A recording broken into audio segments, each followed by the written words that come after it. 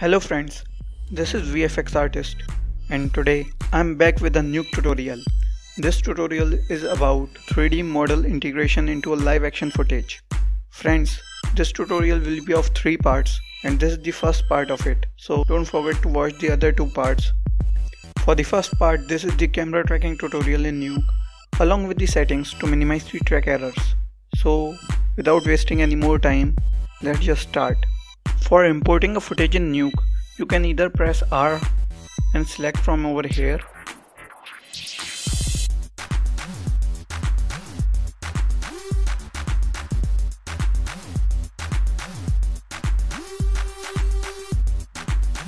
or you can simply drag the file like this.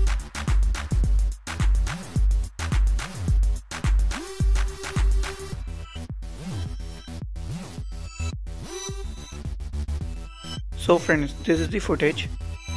You can see a table and some marks pointed on it. This is where I'm gonna place the 3D model of some clothes that I'm having that I've downloaded from some site. This is a pretty lengthy footage so I'm firstly gonna trim it. Just press S for the project settings and define the frame range.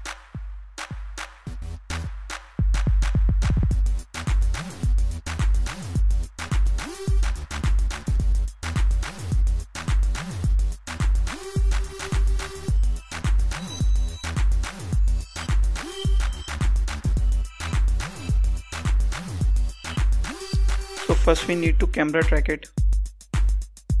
Just hit tab and type camera track.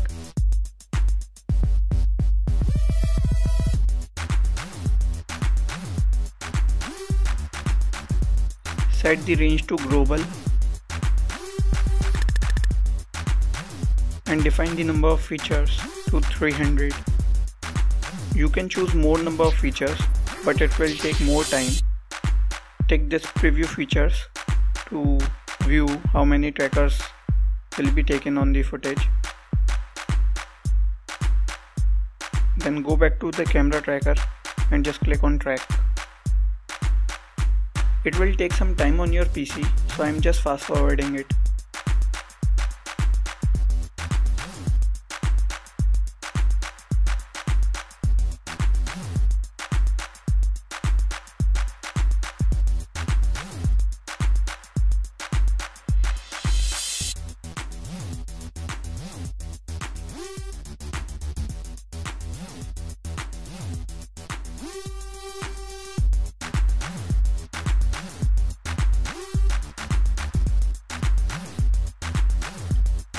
Once the tracking is done, just click on the solve.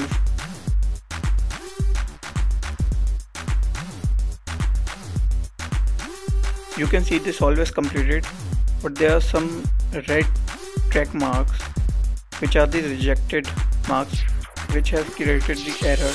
The error value is here is 1.14 which is above 1 and it will be a good track if we can keep it below 1. So here's a method to do it you can see three options. Minimum length max track errors and max error.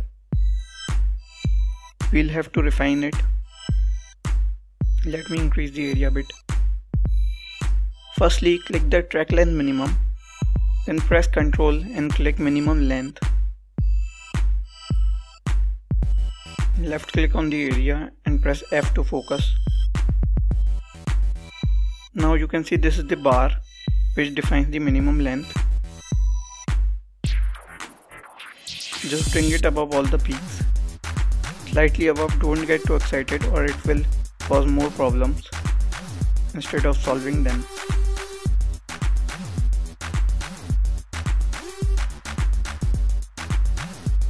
Now click on error RMS and control click on max track error.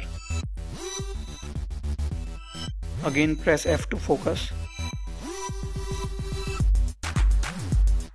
Now you have to bring the bar down, cutting some of the high peaks. But don't bring it too down or it will cause many problems. Or it will result in reducing your track marks. Like you can see, more marks are getting red.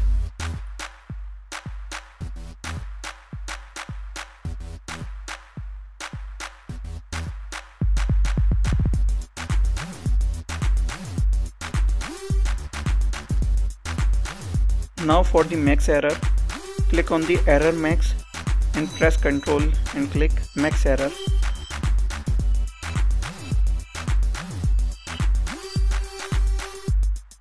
Bring the bar down cutting some of the high peaks.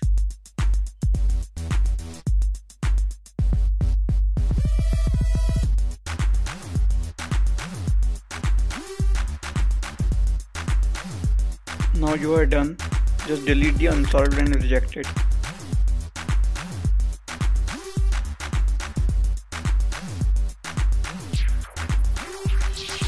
You can see now the solve error is below 1. Now go back to the camera tracker and you can see the error is now 0.83. You can click on solve to resolve it. Now you can see under this export there is a camera here you can create camera and other, but before creating the camera or the scene, firstly, we will select the tracks above the table and we'll set it to ground plane. So the camera will detect these trackers as the ground for the grid mark. Now create a scene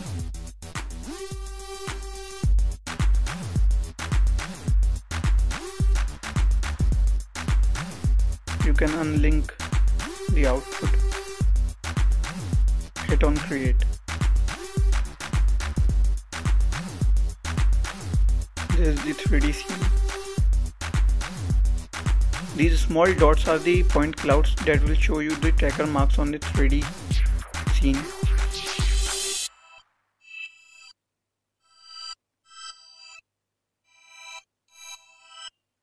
Now what we have to do is we have to place a card on the table in order to mark its position so that when we go to the Maya then we can place the our 3D model of clothes on the card.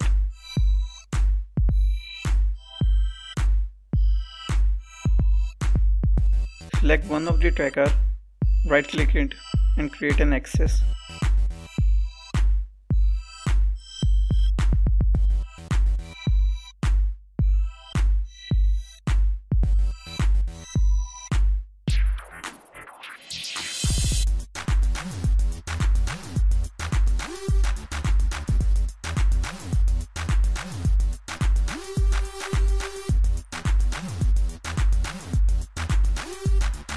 Copy the position of the axis to the position of the card.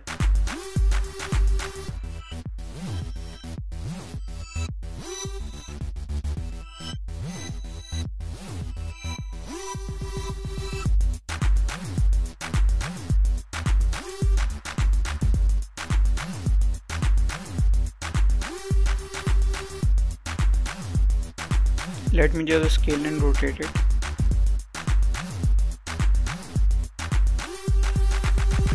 Now in order to view this card over the footage we need a scanline renderer. Hit tab and type scanline renderer.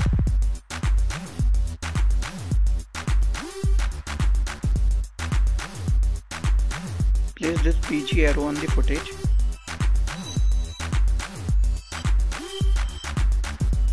Let me connect the card to the scene. Camera. Will go to the camera.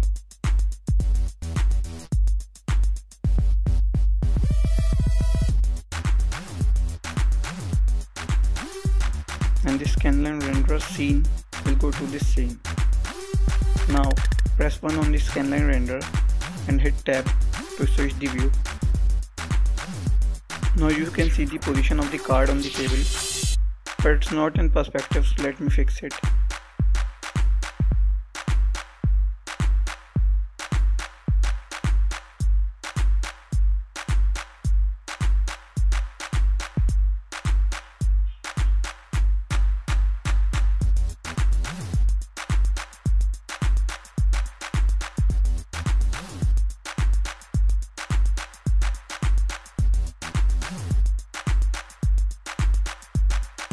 now.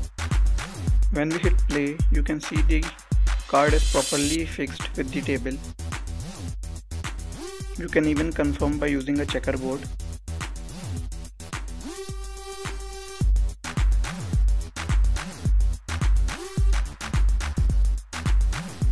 Let me increase its size.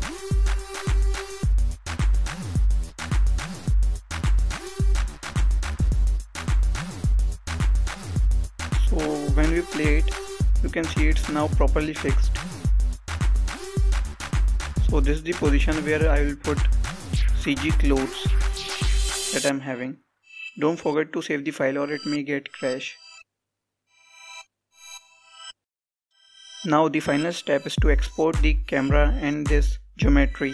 So in order to do so, hit the tab and take a node called write geo. Click on this little file icon and type nukedata.fbx.